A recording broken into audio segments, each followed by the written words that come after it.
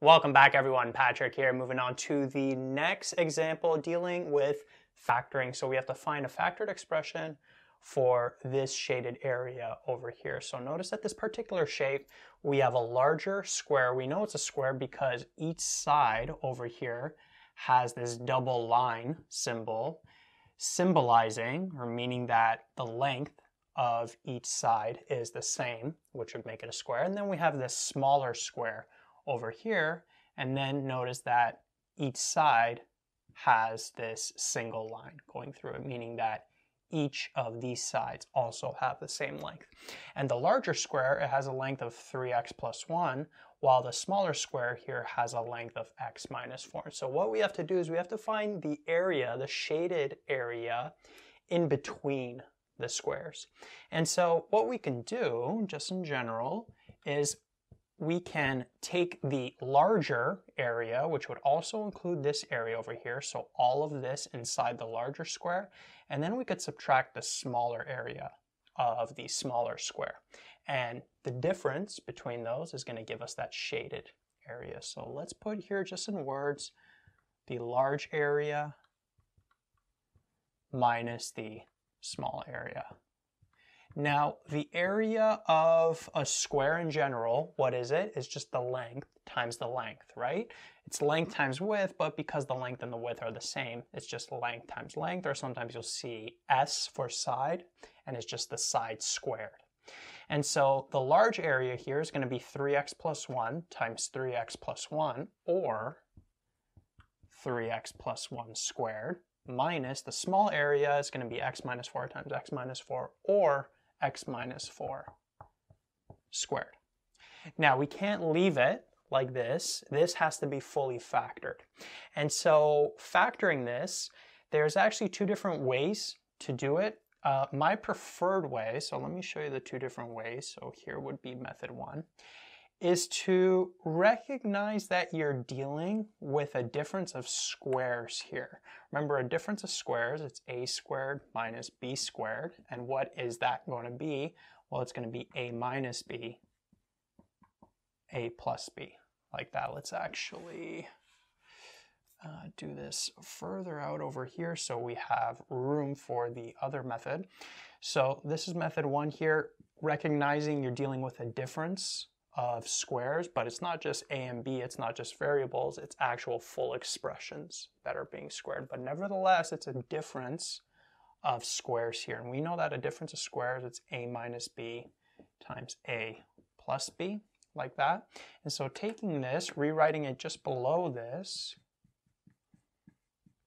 notice that in this case, basically it's like this a is the 3x plus 1, and then the b value, it's like this x minus 4, right? Because you could even put this a and this b in brackets like that. And so if the a is 3x plus 1, the b is x minus 4, then you just have to take these expressions for a and b respectively, put them in the formula. So we would end up with a, which is 3x plus 1, be careful here, minus the b value, but the b value is an expression, so you got to put that in brackets. That's probably the biggest trick right there. You don't just want to write minus x minus 4 without brackets. You're subtracting that whole thing, right? A minus B. In fact, you could even put both in brackets like that if it makes you feel more comfortable. And then this bracket here, you could just get rid of it because there's nothing in front.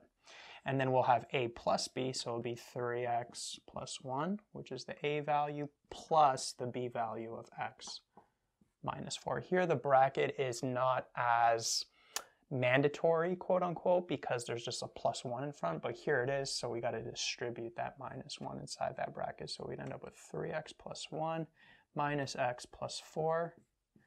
3x, let's just get rid of the brackets here. And then just collecting like terms in the brackets, 3x minus x gives us 2x, plus 1 plus 4, that would give us plus 5. 3x plus x would give us 4x. 1 minus 4 would give us minus 3, like that. And then notice you can't factor this any further. You can't take anything out of that bracket, can't take anything out of that. So that right there is the final answer for this particular question. This is probably the more popular method to do it. Now the other method, probably not going to have room. You know what? I'm just going to erase this first method. All right, let's actually write the answer though, just so we see if the second method we do, we're going to end up with the same thing. So the, um, the second method, the less popular method, uh, also the longer method, this is not the way I would do it, is you expand everything and then just factor whatever's remaining. So if we expand everything, we'll have 3x plus 1 times 3x plus 1 minus x minus 4 times x minus 4 like that. So we'll FOIL these brackets out, multiplying these two brackets, you'd end up with 9x squared plus 6x. It'll be 3x plus 3x, but then that'll net out to 6x, then we'll have plus 1, minus these two brackets, when you multiply them out, you'll have x squared minus 8x plus 16. You'd end up with minus 4x minus 4x in the middle, but that's going to net out to negative 8x. Then you distribute into that bracket. So you got minus x squared plus 8x minus 16. And then, like terms, 8x squared, um, those go away. 6x plus 8x would give us 14x. And then we'll have 1 minus 16, which will give us, give me a sec here, negative 15, like that. And then this is expanded, then you got to factor in this, right? And hopefully this will factor into that. And just checking it, just looking at it here, minus 15x plus 8x, no. Um, sorry, 20x. Yeah, it looks like it's going to work out anyway.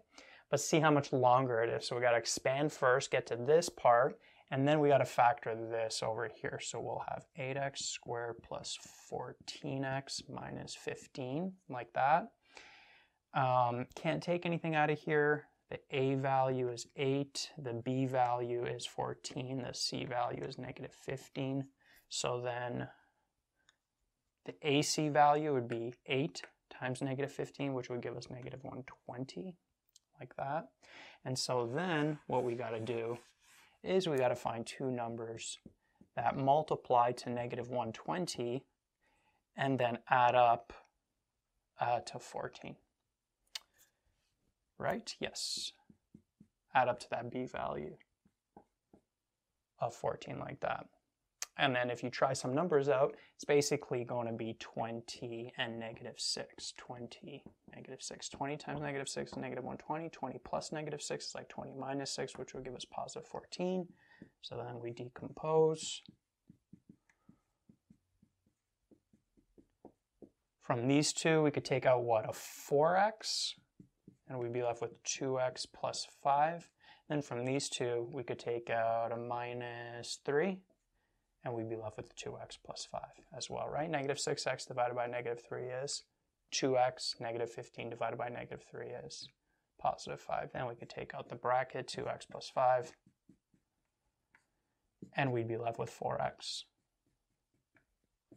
minus 3 like that, right? So the exact same solution, right? So a much longer way, I think it's better to recognize here at this point you're dealing with a difference of squares, use the formula, and you end up with your expression.